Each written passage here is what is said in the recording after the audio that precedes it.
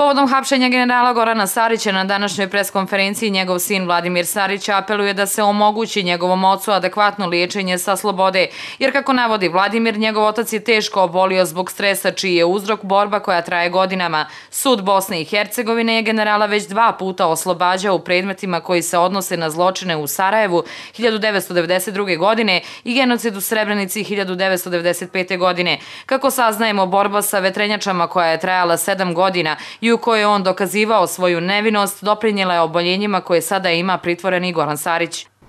To je čovjek naime koji se već tri godine bori sa opakom bolešću, a to jeste tumor. On ima 23 tumora u sebi, brojne metastaze. I pored svega toga, sud BiH, ne obazirujući se ni na kakvu ljudskost, a kamoli na profesionalnost, je odredio pritvor. On je čovjek koji se bez obzira na to što se on jako dobro nosi sa tim, nosi se zahvaljujući što ima adekvatnu zdravstvenu njegu, medicinsku njegu, koju tamo neće imati. Ispred sebe ovdje ima mišljenje profesorice, a svi je znate, Dane Grujičić, koje ću vam posle dati na uvid, gdje žena u svom mišljenju, između ostalog Goranovoj terapiji, kaže da je ovo ubijstvo ako on ostane u pritvoru.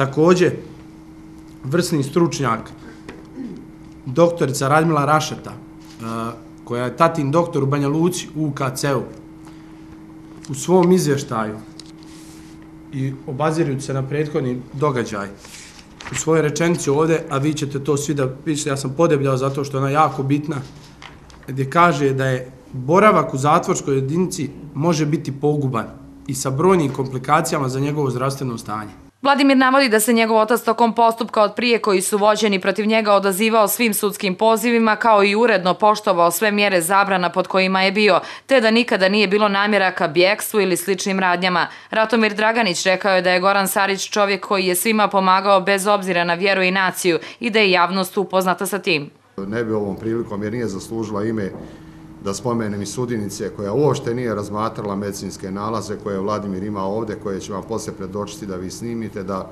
sva javnost vidi o kakvoj bolesti se radi kada je u pitanju general Sarić.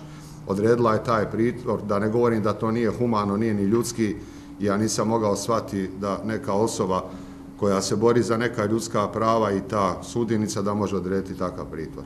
Navedeno je i da porodici Gorana Sarića pet dana nakon što je pritvoren nije bilo dozvoljeno da mu dostavi garderobu i sredstva za ličnu higijenu, kao ni lijekovi koji su neophodni za život. Porodice ističe također da su se obratili pismeno svim institucijama u nadi za pomoć, te da se nadaju da će Sariću biti dozvoljeno da se liječi na adekvatan način, jer u suprotnom posljedice mogu biti kobne za njega.